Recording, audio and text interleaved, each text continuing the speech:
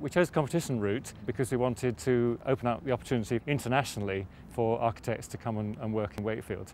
And uh, we went through the RIBA uh, because that was the best way to ensure that we had that international attention, if you like. They duly delivered on that, and we had expressions of interest from 111 architects, but that included architects from Japan, mainland Europe, United States, and further afield as well, from South Africa and Australia. For us, that was a really high quality and impressive response. That led on to a really strong long list and then a, a, really, really high quality short list. I think the competition process was attractive to us because it ensured that we were very clear about what our brief was, what, what it is that we wanted to, to create here in Wakefield. Um, so, you know, we, we followed the steps in the right way. We drew together a very good panel to make the decision.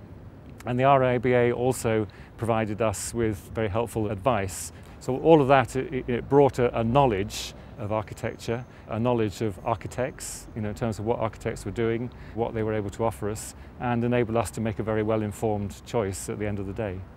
The RIBA received the expressions of interest, they received the competition panels and the information that went with them. Um, so, you know, they did all the, the sort of the hard work behind the scenes, if you like, to make sure it ran smoothly, and they organised, obviously, the, the interviews at the end of the process. The competition's brought tremendous benefits. As you can see today, it's resulted in a really high quality building, which I'm sure will stand the test of time. It enabled us to choose a leading British architect. And interestingly, you know, we chose that architect before he'd won the Stirling Prize, which has happened subsequently. Um, and I think the, the, the RIBA process enabled us to concentrate on what was important to us in this project. What were the key elements that we wanted to make sure were delivered? And in this case, it was to make sure that we got a building that was very fit for purpose, but was also of high quality, and a building that was related to the collections, the art, the art collections that we will be showing in there. And the particular thing that we were looking for was very high quality gallery spaces, as well as really good learning and education spaces, and also the, the social spaces that go with any, any contemporary gallery, the cafe, the shop, the landscape around it, a place for people to meet and just come and enjoy as well as coming to see the art. The most interesting part of the competition was that it gave us the opportunity to meet all of the shortlisted architects, um, on some of them more than once. Uh, they all came to site and we were able to uh, have that conversation with them about the project, about their responses to the site, their responses to the art collections, and you know we would already felt we got to know them even before we got to the panel meeting and making the decision. I would certainly recommend the competition process. I think the main reason is that it does make you concentrate and work out exactly what you want to achieve.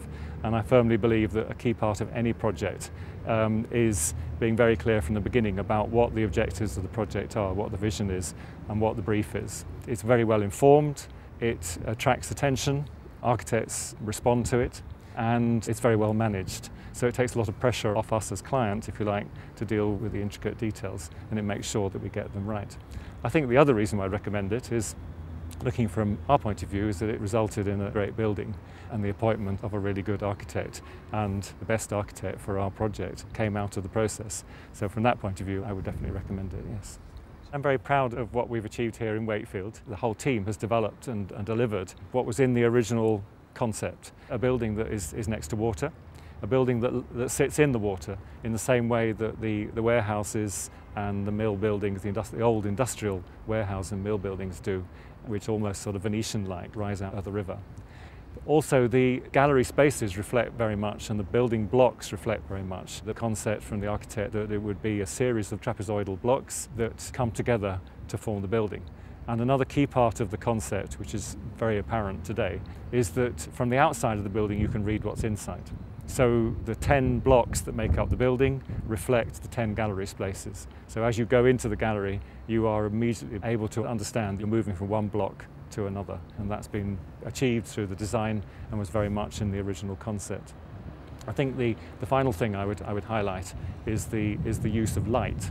And the gallery spaces are, are light filled and that is achieved through the roof light, the light slot that comes in from above the gallery, but also very strategically placed windows, which give you views into the gallery, but also out of the gallery. So you see the Wakefield City skyline, you see across to, to the Pennines. That again was very much part of, of the original concept, that it wouldn't be a white box that you disappear into, that it would be a building that, where you're still very much in contact with the environment around it.